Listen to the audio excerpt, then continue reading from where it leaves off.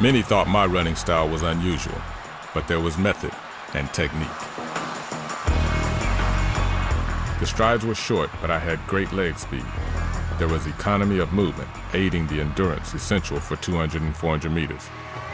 That relaxed, upright posture, shoulders in line, head still, meant I was able to flow across the track. My style, however, was never ideal over the shortest of the sprints. The 100 meters. We like to talk about 100 meters as being in phases.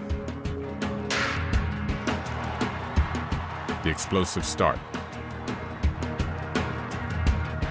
Then there's the drive phase, head down, keeping low, allows the buildup of speed, pushing out the track with the toes, arms pumping back and forth, using that upper body strength. It's all about acceleration. The stride phase.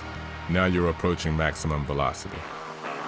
Head in line with the spine, relaxed, elbows at 90 degrees, stride extended, the classic high knee lift.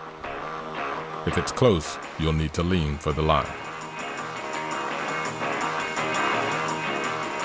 100 meter sprinters are powerful, of course, and generally not too tall, as height and long limbs have long been regarded as a major disadvantage in the early phases of the race.